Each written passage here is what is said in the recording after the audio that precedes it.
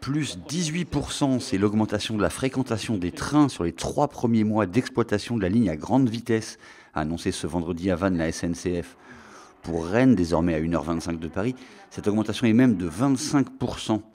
Dans le Morbihan, la compagnie a enregistré 50 000 nouveaux clients.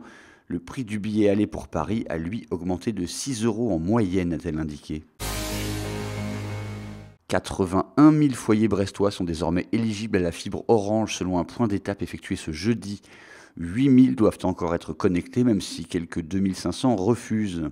Les 100% de foyers étaient promis pour fin 2016, mais le chantier a pris du retard. En cause, les difficultés à déployer le réseau aérien en ville sans endommager les installations existantes. L'ensemble de la ville devrait être couvert avant l'été 2018 et l'agglomération mi-2020. La criée d'Erquy dans les Côtes d'Armor fête ce dimanche ses 40 ans. 40 années d'activité intense et la nuit dernière, encore 40 tonnes de poissons et coquillages. En 2016, ce sont plus de 11 000 tonnes qui ont transité par le bâtiment. La criée emploie 30 personnes et sa flotte compte quelques 75 bateaux.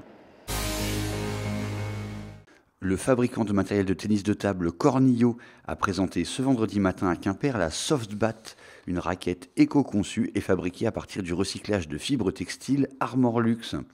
Trois ans de recherche ont été nécessaires pour la mettre au point. Elle est vendue 10 euros l'unité. On ne sait pas si une version rayée est en projet. Enfin, avis aux amateurs d'immobilier atypique, la ville de Brest cherche à vendre la chapelle Sainte-Anne de Quérinou. Construite vers 1860, entourée d'un jardin de 900 mètres carrés, elle est désacralisée depuis des années. Les enchères sur le site Agorastore commencent à 55 100 euros, mais comme on dit publiquement, travaux à prévoir.